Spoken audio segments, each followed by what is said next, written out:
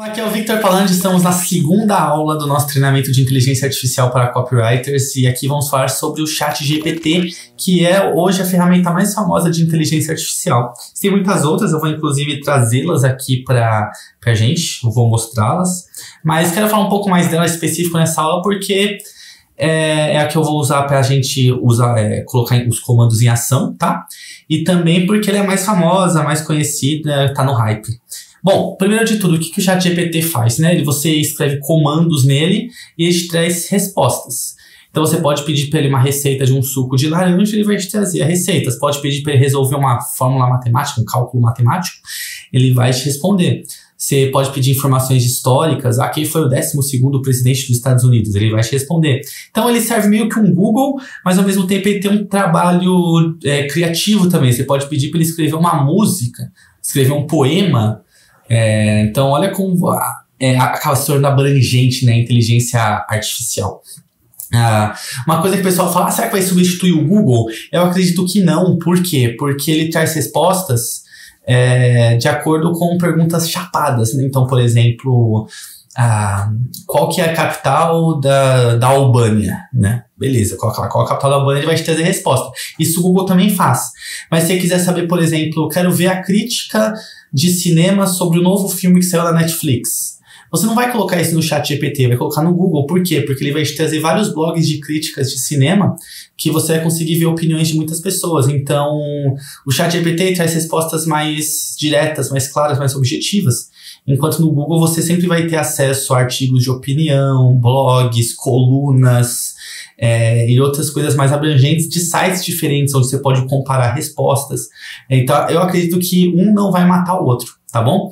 Aí também tem a questão da pergunta se é pago. Eles lançaram uma versão paga, mas tem a versão gratuita também.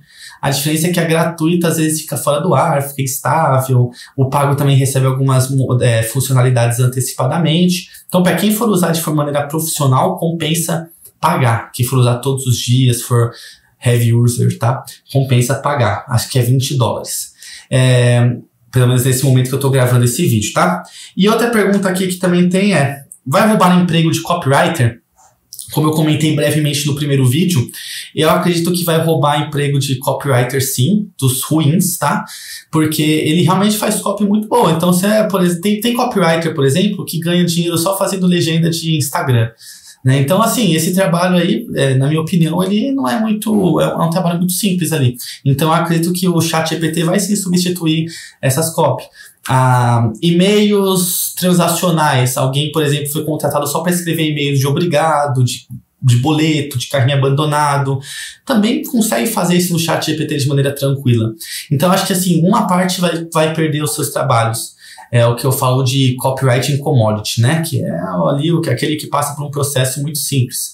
Agora, a, as copy é mais avançadas, as copy mais criativas de fato, ou que tem que fugir do lugar comum, que realmente chega no estado de arte, essas jamais serão feitas por um chat GPT porque elas justamente precisam ser novas, né? Precisam ser quebrar o padrão. E eu acredito que não, eles não vão conseguir criar algo nesse nível.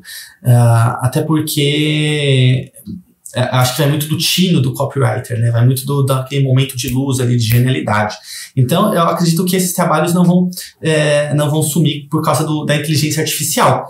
Então, cabe aos copywriters não se preocupar se vai roubar o emprego ou não, mas aprender a usar para conseguir colocar a seu favor. Então, conseguir escrever, ah, puta, eu tô na dúvida sobre esse público-alvo. Usa o chat GPT para te ajudar a definir o público-alvo.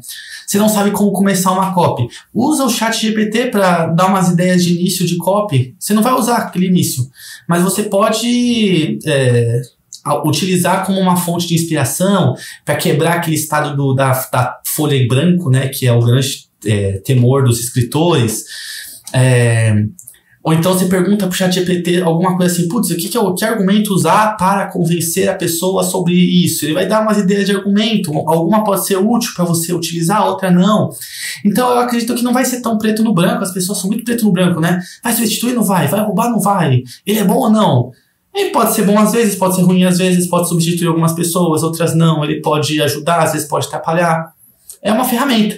Né? Então é como um martelo. O martelo você pode martelar seu dedo sem querer e ficar com o dedo quebrado, você pode martelar o prego e, e ajudar a montar um móvel, você pode martelar a parede, quebrar a parede e ficar com prejuízo. Então, entende? Assim, a ferramenta em si não tem culpa nenhuma do uso dela. Vai depender de quem está manuseando. É a mesma coisa o, a nossa ferramenta de inteligência artificial. Fechou? Então é isso, bora para nossa próxima aula. Fico te esperando por lá. Até já. Tchau, tchau.